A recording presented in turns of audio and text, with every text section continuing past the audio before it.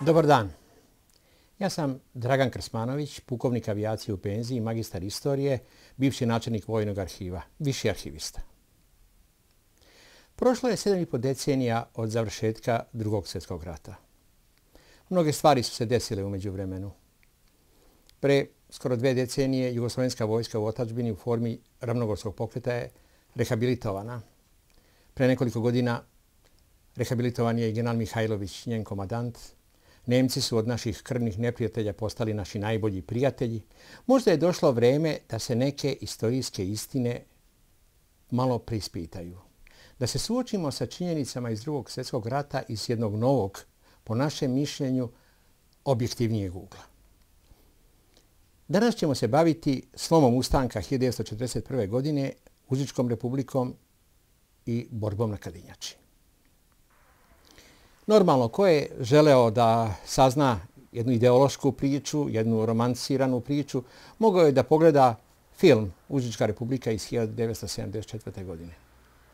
Ili da pogleda dokumentarni film o Užičkoj republici, za koji je e, tekst napisao Venceslav Glišić, jedan dobar istoričar, ali vreme je pokazalo da podaci izneti u tim istorijskim igranim ili dokumentarnim filmima ne odgovaraju zaista činjeničnom stanju.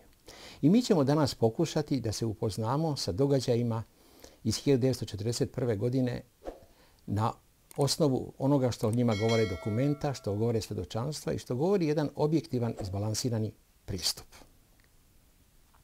Da bismo to uradili, vodit ćemo se jednom vojnom metodologijom. Znači, najprije ćemo analizirati sve zaraćene strane u tom, u tom periodu, Poslije toga ćemo razraditi ratne planove svih zaraćenih strana, onda ćemo se suočiti sa tokom operacije i na kraju ćemo izvući zaključke iz svega toga da vidimo ko je šta uradio i kakvi su rezultati čijeg delovanja. Najprije bismo se pozabavili faktorima oružane borbe, znači ljudski, materijalno-tehnički prostor i vrijeme. I to na taj način da bismo prvo analizirali ljudski faktor u normalno i kvantitativnom i kvalitativnom smislu ali možda prije toga par rečenica. Srpski ustanak 1941. godine došao je za Nemce u najnepoboljnijem trenutku.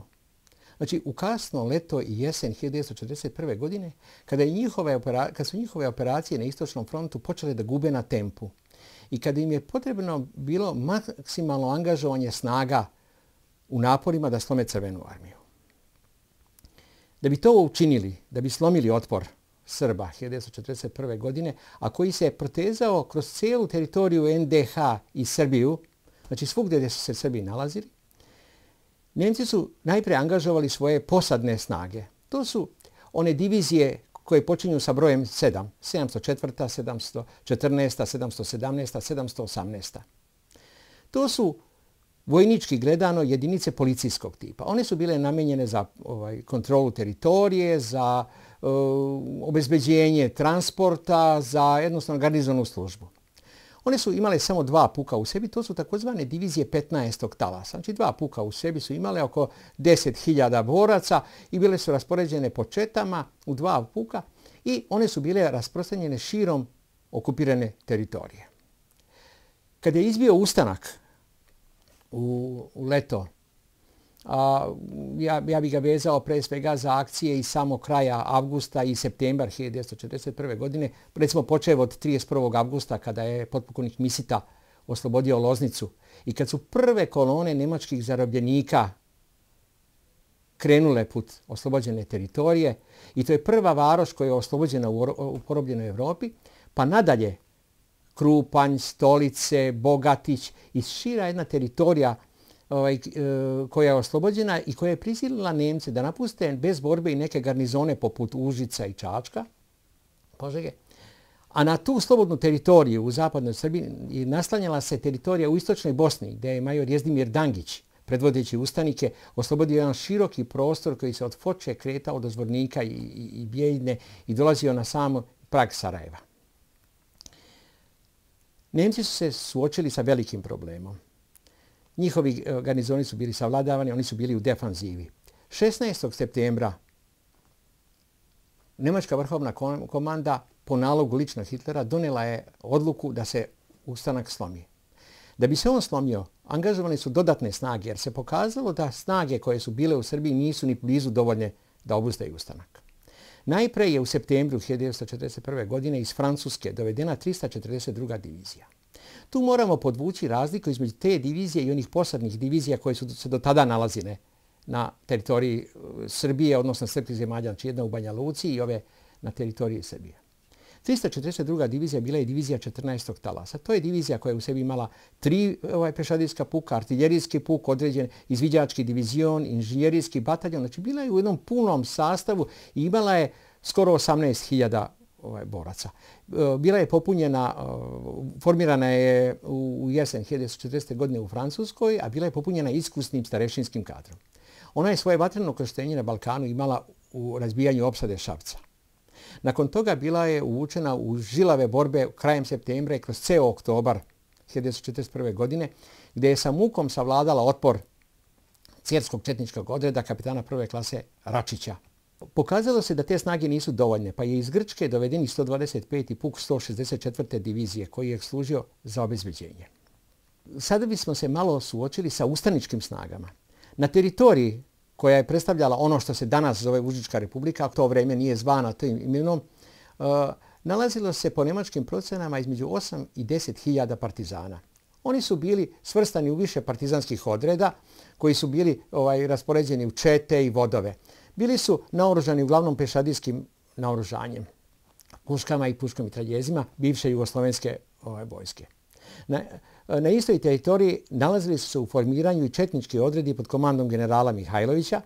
Oni su imali između 3,5 i 5 hiljada boraca u tom periodu na teritoriji onoga što će kasnije biti ovaj, Užička republika, odnosno prostor na koje će biti angažovane nemačke snage u gušenju ustanka. One su bile organizovane po Mihajlovićevom uputu broj 5. To su da je svako selo trebalo da organizuje tri vrste četa malo u obrnutom redosledu, ali kao bivša ona stara srpska ovaj vojska. Znači, jedne čete, one treće, one su bile najbolje naoružene, njih su popunjavale najmlađe godište i one su bile o, formirane tako da bi mogle napustiti svoju teritoriju i ići tamo gdje se ukaže borbena potreba.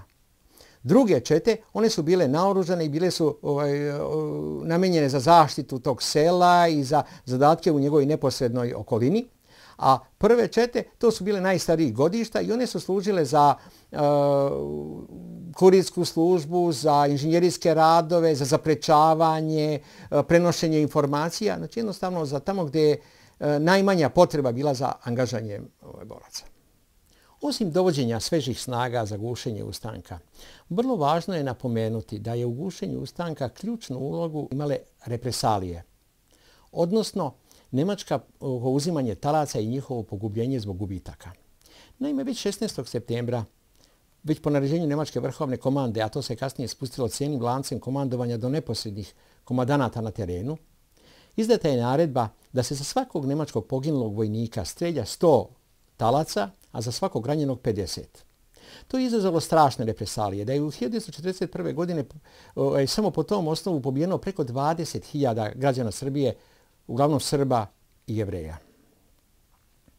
To je ostavilo snažan utisak na sve zaraćene strane. I, i pored masovnog angažovanja snaga, novih snaga, to je bio ključni element koji je doprineo brzom slomu ustaničkih snaga u jesen 1941. godine. Znači, kad je doneta odluka da se ustanak slomi, radi njenog gušenja doveden je e, u Srbiju general Franz Beme. To je jedan od e, nemačkih generala austrijskog porekla ovaj, Hitler je voleo da e, na, u Srbiji a, i obušte na, na prostorima bivše Jugoslavije angažuje Austrijance. On je smatrao da oni bolje poznaju mentalitet, da su bolje upućeni u balkanske prilike i da će oni obezbediti sprovođenje nemačkih interesa na bolji način nego što bi to uradili Nemci iz Rajha. Beme je ovaj, pokazao se kao preduzimljiv komadant, ali iz, između ostalog i veoma spir, svirep komadant. Tako da je 1947. godine na Nimberškom procesu u toku suđenja izvršio samoubistvo nespreman da se suoči sa posljedicama svoga, svojih dela u Srbiji 1941. godine. Znači, Franz Meme, on je bio komandant 18. korpusa i došao je u Srbiju sa cijelim svojim štabom i razradio je plan za gušenje ustanka. Njemu su najprije predlagali da angažovanjem tih novih snaga jednostavno potisne ustaničke snage daleko od komunikacije Beograd, Niš, e, Skopje, Solun i da obezbedi nesmetani transport, ali se on odlučio za radikalnu meru, za potpuno uništenje ustaničkih snaga. On je izradio plan za gušenje ustanka i 19. E, novembra organizovao najprije jedan sastanak u Valjevu, a posle toga u Kragujevcu, gde je upoznao komandanta 342. divizije u Valjevu sa svojim planom za sprovođenje operacije, a posle toga u Kragujevcu i komandanta novopristigle 113. pešadijske divizije. To je nova divizija koja je dovučena sa istočnog fronta nakon što je u rejonu Harkova pretrpela ozbiljne gubitke i ona je u tom trenutku imala negde oko 11.000 boraca i negde počeo od 7. novembra iskrcavala se ovaj, u, u Jagodini i e, uh, zaposela je teren, e, prostor između Kragujevca, e, Kraljeva i Kruševca. Odakle je trebalo da, da krene u izvođenje tih operacija. Opšta zamisao generala BMA bila je da 25. novembra 342. divizija otpočne napad na slobodnu teritoriju. Napad je trebao da ide u dva pravca. Znači, I zato su formirane dve ovaj, napadne grupe. Napadna grupa Zapad, koja je uh, bila sastavljena iz dva bataljona 699. puka 342. divizije uh, sa određenim ojačanjima inženjerijskim jedinicama i sve, koja je bila pripremljena za kretanje po brdskom terenu. Dobila je zadatak da preko Pecke izbio u rejon Ljubovije, zatim u Zdrinu, odvajajući ustaničke snage u istočnoj Bosni od onih u Srbiji, preko Rogačice dođe u Bajinu baštu i odatle usmeri svoja dejstva ka Užicu, ka centru slobodne teritorije.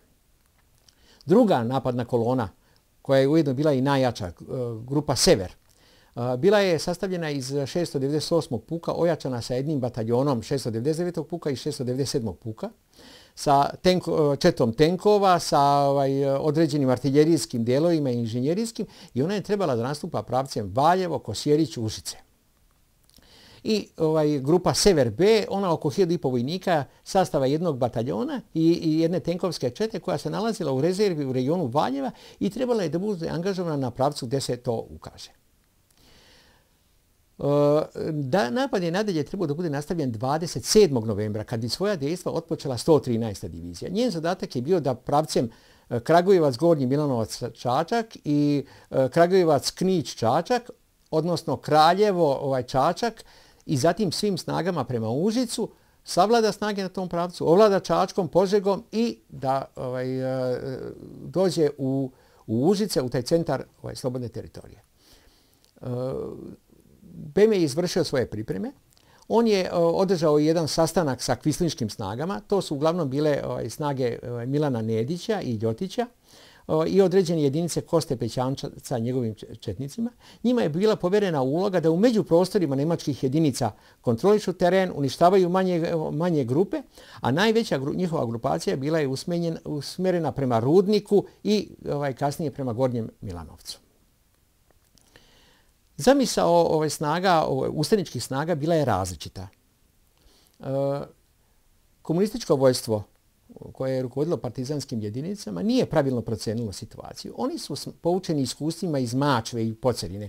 Kada su o, snage, ustaničke snage zajednički pručale vrlo žilav otpor 342. diviziji i skoro mjesec dana zadržavali njihovo napredovanje, povjerovali da to može biti slučaj i, i ovaj put S druge strane, oni nisu uočili ovaj, dolazak 113. divizije i nisu, o, nisu pravilno procenili ukupno angažovane snage. Smatrali su da postoje uslovi za frontalni otpor. E, zato su svoje e, snage rasporedili e, na obodima slobodne teritorije u jednom kordonskom ovaj, rasporedu bez izrazitih težišta, bez jakih rezervi, verujući da će na taj način uspjeti da zadrže ovaj napad.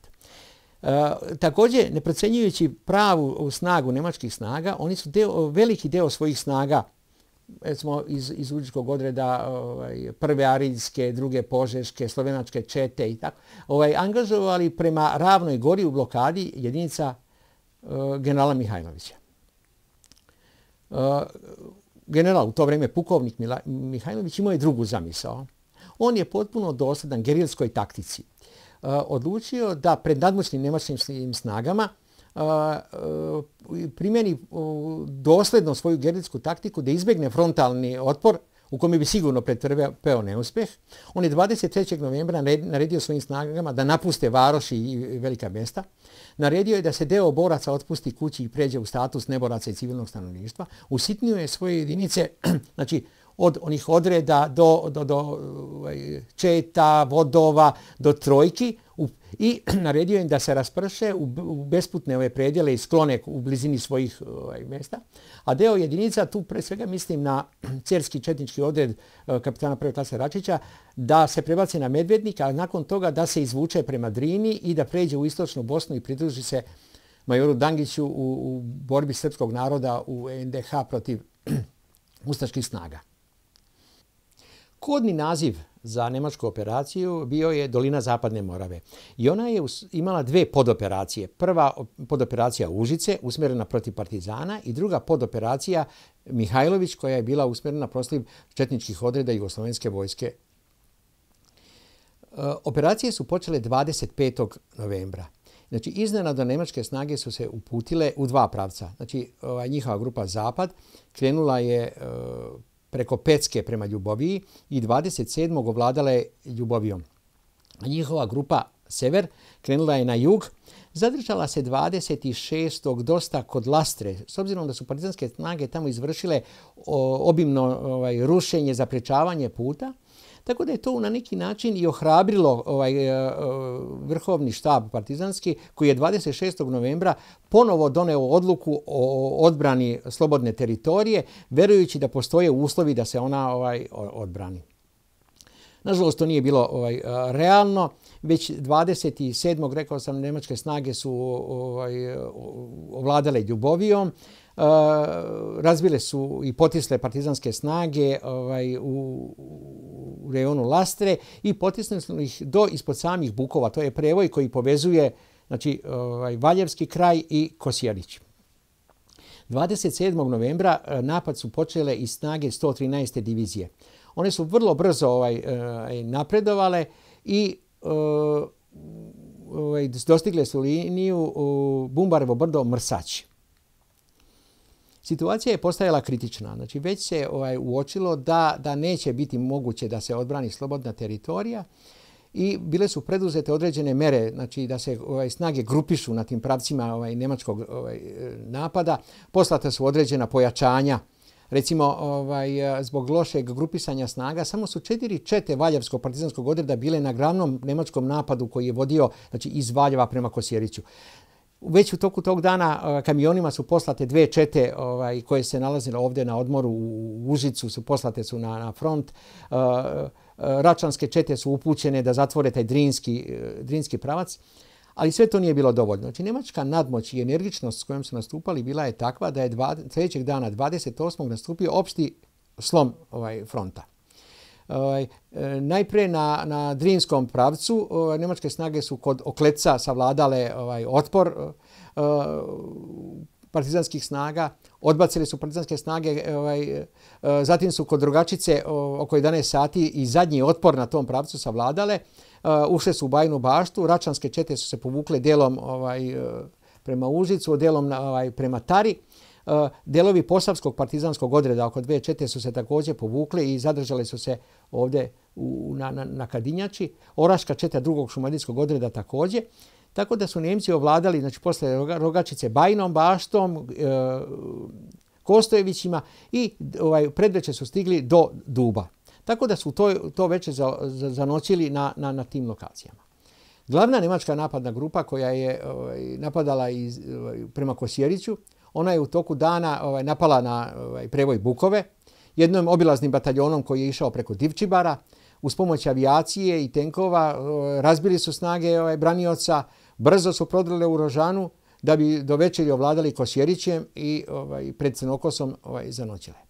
A o, snage eh, uh, 113. divizije ušle su u Čačak, tako da je pretio opsislom. Tog dana je bilo postalo potpuno jasno da se front ne može održati i da će nemačke snage veoma brzo ovaj, doći u Užice, centar slobodne teritorije. Nažalost, ovaj, ni tada nije postojala jasna svijest o brzini napredovanja i opasnosti ovaj, koja preti snagama. Ono što su nažalost stigli da urade, to je da su te ovaj, večeri izveli uh, iz zatvora u Užicu o, zatvorenike, odveli ih u Krčagovo i postreljali između ostalog i Mihajla Milovanovića, akademskog slikara, ovaj, jednog čoveka velikog ugleda u Užičkom kraju.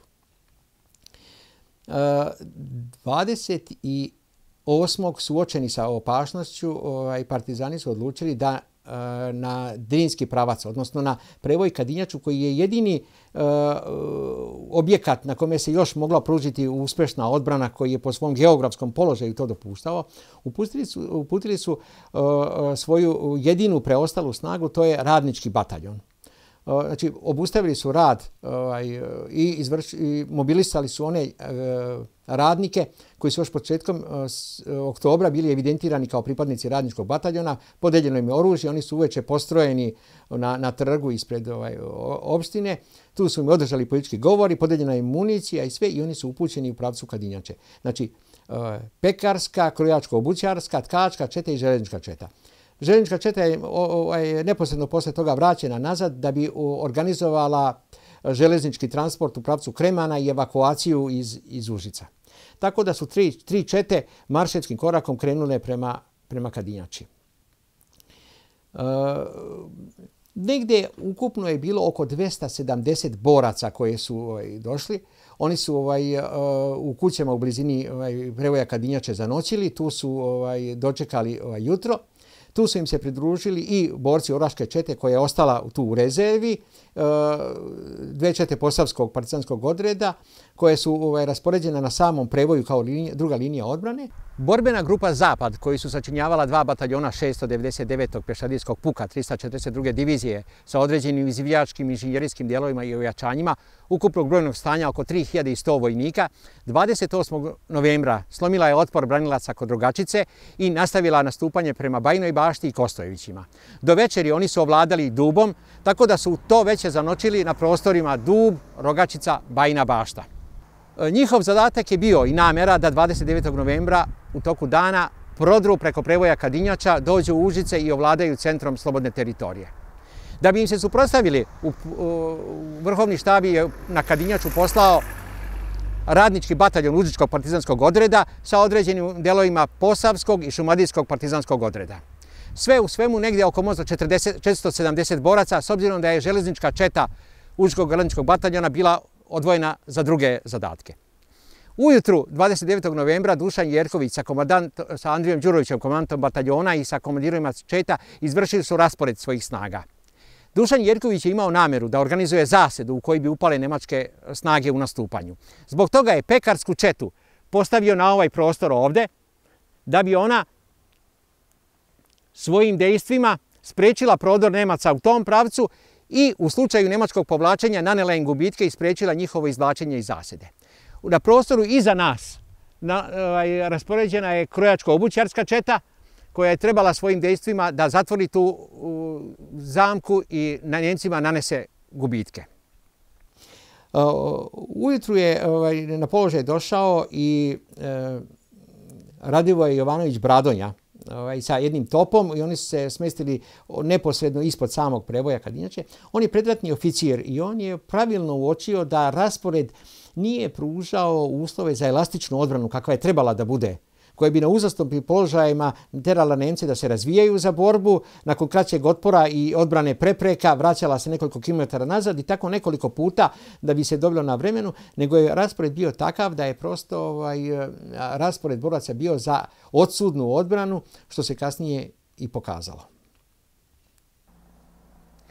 Negdje oko 10 časova 29. novembra nemačke kolone raspoređene u dve bataljonske i grupe i izvidnicu krenule su putem iz Duba preko Zaglavka prema Kadinjači.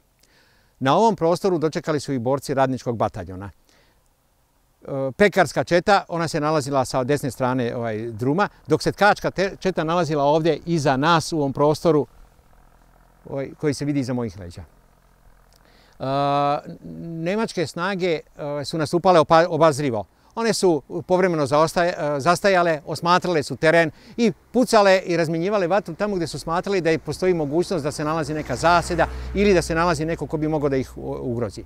Na taj način oni su došli ovdje do ove prve krivine i ovaj otvorili su vatru. Na neki način postoji mogućnost da su oni osmotrili borce pekarske čete ili tkačke čete s obzirom da je u to vreme godine 29. novembra ovaj lišće već opalo, borci nisu imali vremena da se detaljno maskiraju, tako da su Nemci otvorili vatru. Bez obzira što je plan predviđao da se početak napada označi ovaj hicem iz iz topa, Eh, izgleda prema svedočanstvima ovaj, preživjelih boraca da je eh, onaj borac koji je upravljao protivavionskim mitraljezom eh, podlegao pritisku borbe i da je otpočeo vatru. U tom trenutku počelo je međusobno puškaranje, svi su ovaj, položaj je ovaj, počeo da vrije od vatre, u tom trenutku se oglasio i, i top i počela je ovaj, sama borba. Radilo se o nemačkoj izvidnici, to su bili njihovi biciklisti, motociklisti, dok je glavnina bila još daleko zaostala, nije već bila pristigla ni u zaglavak.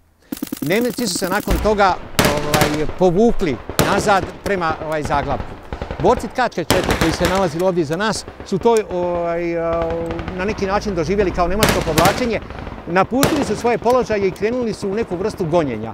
Međutim, oni su se zadržali na ovim, ovaj, ovdje na ovom prostoru na neki način sišli su sa svojih osnovnih položaja u dolinu, verujući da su potisli Njemci i da treba da krenu za njima u godinu. E, situacija nije bila takva jer su se Njemci samo povukli nekoliko stotina metara dalje i organizovali svoju liniju odbrane i sačekali svoju glavninu. Nalazimo se na samom preboju Kadinjače. Ispred nas se pruža poprište borbe. Tamo u daljini možemo vidjeti put koji od e, Duba preko Zaglavka vodi na Kadinjaču i dalje prema Užicu. Tu je u 10 časova i pol počela ovaj borba, kada su borci pekarske čete dočekali nemačku prethodnicu.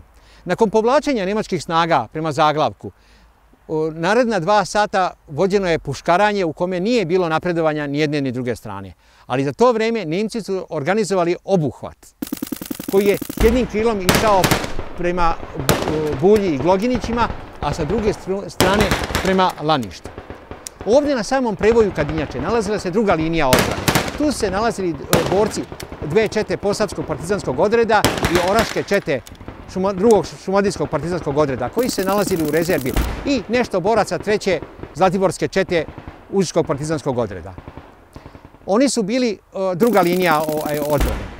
Nemci su negdje oko 13 časova svojim obuhvatnim naspadom došli do, do ovaj prostor, odbacili snage odbrane i praktično opkolili borce radničkog bataljona. Glavna borba odvijala se na prostoru ovaj, uspona znači od e, zaglavka prema samom prostoru Kadinjače. E, završna faza borbe odvijala se ovdje, zbog toga što su dve nemačke na, bataljonske napadne grupe, jedna koja je dolazila preko Gloginića, druga koja je dolazila preko Laništa, spojile se na ovom prostoru i u svom okruženju ostavili glavninu radničkog bataljona. Ovaj prostor branili su borci Oraške čete i borci e, e, posad, dve čete Posadskog partizanskog odreda. Oni su odbačeni sa ovog prostora i Nemci su u okruženju ovaj, ostavili većinu radničkog bataljona.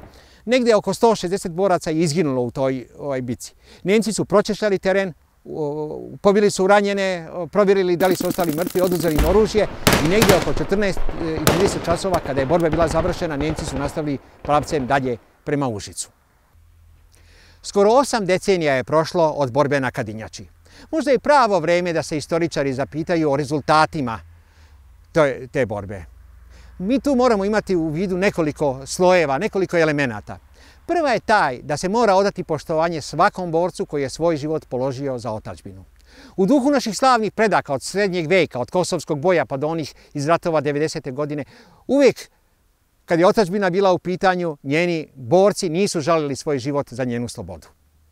Ali mi moramo da se suočimo i sa drugim elementima, da procenimo koliko je ta borba bila svrsishodna, da li je komandovanje pravilno procenilo ovaj opasnost? Da li je izabralo prave taktičke radnje da bi uz minimalne gubitke postigli što veće efekte?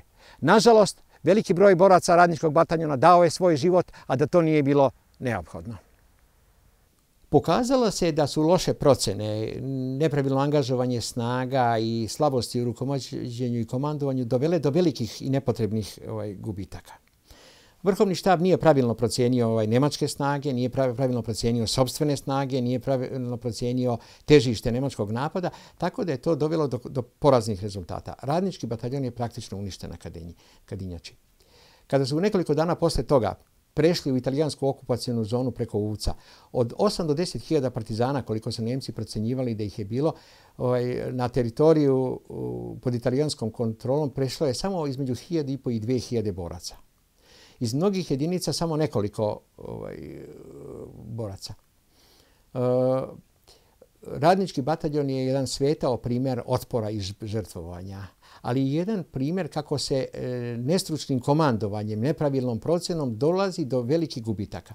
Nemci su prema sobstvenim podacima na Kadinjači izgubili ovaj, dva vojnika koja su poginuli, jedan koji je ranjen, dok su branioci izgubili negde oko 160 ovaj, boraca. Nemci su procjenjivali malo pretjerano da je ima oko 240 ovaj, ubijenih na Kadinjači. To je ujedno i razlog zašto kad su ušli u Užice nije bilo ovaj, odmazdi 100 za jedan. Oni su procijenili da su oni koji su pali u borbi dovoljnom, u dovoljnom omeru da nije potrebno vršiti dodatna ovaj, streljanja. Normalno kad se cijela operacija okončala, kad su podvukli svoje ovaj, gubitke, vidjeli smo da je 342. divizija prema sobstvenim podacima koji mož, moramo verovati jer su dati nakon borbe i kad se moglo ovaj, pravilno ovaj, to izvestiti, izgubili 10 poginulih i 25 ranjenih. Po tom osnovu u Šapcu su izvržena određena streljanja da bi se ispunila ta kvota koja je bila zadata za streljanje. Uh, 29. novembra pre snaga koje su dolazili preko Kadinjače, u Vuči su ušle nemačke snage koje su od jutarnjih sati, od 8 sati ujutru vršile napad na Crnokosu, razbile su branioca, zatim su ovaj, eh, znači, na Ponikovici gdje se odvajao put prema Požegi i ovaj prema Trešnjici, ponovo naišli na zadnji otpor koji su slomili vrlo brzo i zatim su znači, na čelu sa tenkovima iza njih pešadija ušli su u, u Užice koje su u zadnji čas napuštale određene partizanske institucije i sve.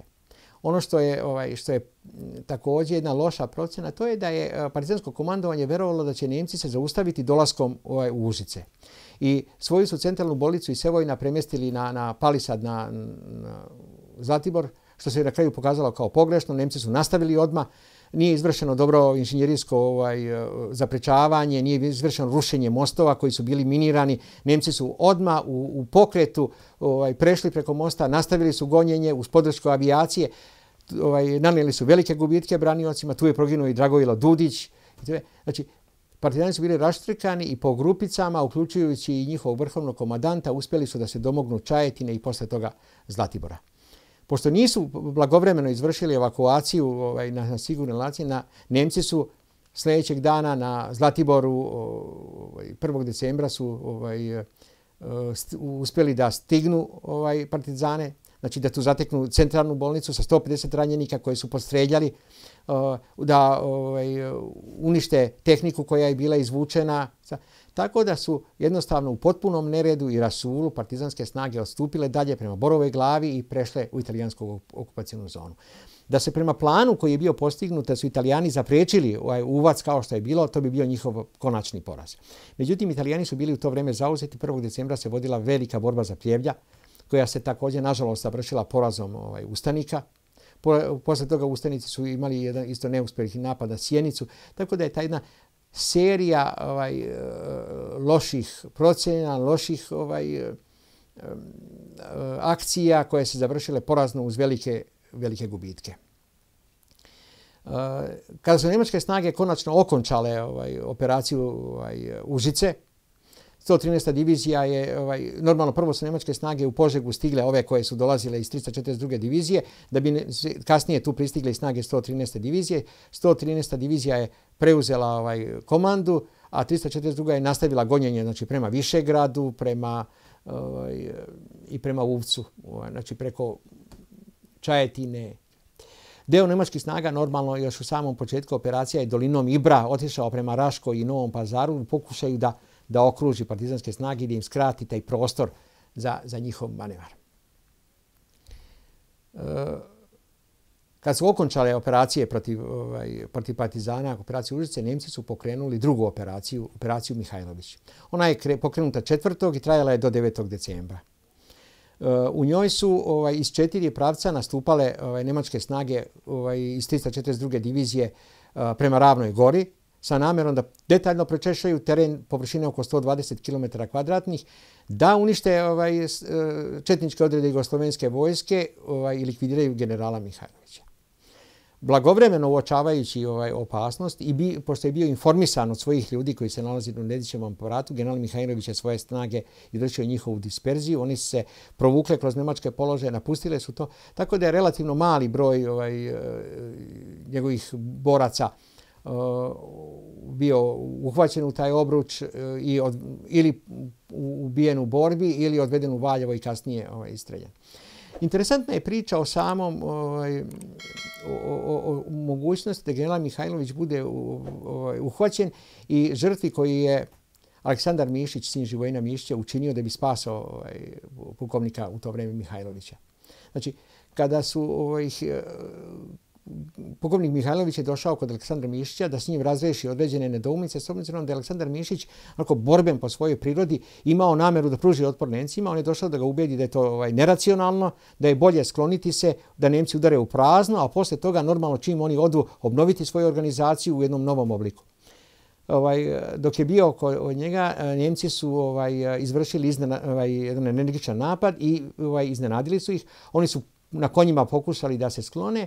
Kada su oterali konje da bi se priklili jednom šumarku, konji se vratili nazad, otkrili njihov položaj, Njemci su pripucali i došlo je do jedne ovaj, vrlo ovaj, neugodne situacije, s obzirom da su Njemci sa sobom vodili i grupu seljaka kao taoce, ako bi se pružio otpor, ako bi neko od Nemaca poginuo, ovaj, eh, bili bi streljani seljaci, tako da je ovaj, u tom trenutku Aleksandar Mišić zajedno sa ovaj, eh, Freglom, ovaj, jednim kapetanom Slovencem koji je se nalazio u, u njegovom štabu i sa par pratilaca. Oni su krenuli u susret Nemcima i ovaj, eh, sa namjerom da se predaju. Kad su Nemci pitali da li je tu pukovnik ovaj, Mihajlović, Aleksandar Mišić je predstavio se i rekao je da je on pukovnik Mihajlović. Nemci su zaustavili svoje operacije. Ovaj, posle toga, ovaj, eh, kad su ga izveli pred nemačkog komadanta, ovaj, Aleksandar Mišić je rekao ne, on da nije ovaj, Mihajlović, predstavio se ko je ovaj, bio je u uniformi, bio je kao vojnik, da će da se zna da je zarobljen u borbi. Ovaj, se. Međutim, Njemci tomu nisu oprostili. Ovaj, on i, i Fregle su streljani 17. decembra u Valjevu, pre toga su osuđeni na, na, na smrt. E, pukovnik pukovnik Mihajlović se ovaj, izvukao posle toga iz obruča i nakon završetka operacije, nakon par dana, vratio se nazad na taj teren, tako da je jednostavno, što se njegovih snaga tiče, ovaj, taj napad, nemački napad je udario u prazno. On je ovaj, uz pomoć eh, svojih ljudi u Nedićevom aparatu, eh, Milana Kalabića, eh, majora Koraća i svi ostali, uspeo da, da se da legalizuje deo svojih ljudi, da ih prebaci u, kao Nedićeve zvanične formacije, da bi izbegao njihovo uništenje, da bi došao u posjed oružja i municije kao jednu taktiku ovaj, kako se može ovaj, izbeći ovaj, ubitačni napad nadmoćnog neprijatelja. Sve ove operacije ovaj, su pokazale da je rat nemoguće voditi kada si potpuno inferioran, kad si udaljen od, od svojih saveznika, E, kada jednostavno ne možeš obezbediti ovaj, da svojim ljudskim faktorom nadomestiš prednosti koje neprijatelj ima u materijalno-tehničkom faktoru i u borbenom ovaj, u smislu, u kvalitetu svojih jedinica na oružanja i svega. Tako da je e, odluka da se e, odsudno brani slobodna teritorija bila pogrešna, nanela je velike gubitke ovaj, partizanima, nanela je velike ovaj, represalije po, po tom osnovu, Ovaj, dovela je do sloma kompletnog sistema ovaj, na, na, na toj slobodnoj teritoriji i ovaj, to je ujedno bio i slom partizana na teritoriji Srbije. Oni se više nikad do 44. godine, do dolaska Crvene armije, nisu oporavili od toga. Milan Mihajlović je eh, pravilno procenio situaciju, ovaj, izbjegao uništenje svojih snaga eh, i on je već od proleća 42. godine počeo sa ponovnim organizovanjem, sa omasovljavanjem i on je postao osnovna snaga ovaj, antinemačke ovaj, borbe na prostorima Srbije. Nemačku ofanzivu partizanske i četničke snage dočekali su kao saveznici. Oni su 20. novembra potpisali sporazum o međusobnoj saradnji. Međutim, sa obe strane taj sporazum je bio neiskren. Partizani su želeli da iskoriste četničke snage da pojačaju sobstveni otpor, a četnici su jednostavno želeli da ovaj, imaju jednog protivnika manje u periodu koji im je ovaj, predstojao i kad su očekivali nemačku ofanzivu. Slom ustanka je, nažalost, predstavljao i slom njihove saradnje. 14. decembra Josip Broz je u svojoj instrukciji pokrajinskom komitetu Komunističke partije Srbije definitivno izjasnio se da je na teritoriji koji njegove jedinice oslobode više nemoguće da postoji bilo koji organ vlasti sem oni koji oni organizuju. Prema tome, bio je to konačni početak građanskog rata koji danas traje. Thank you.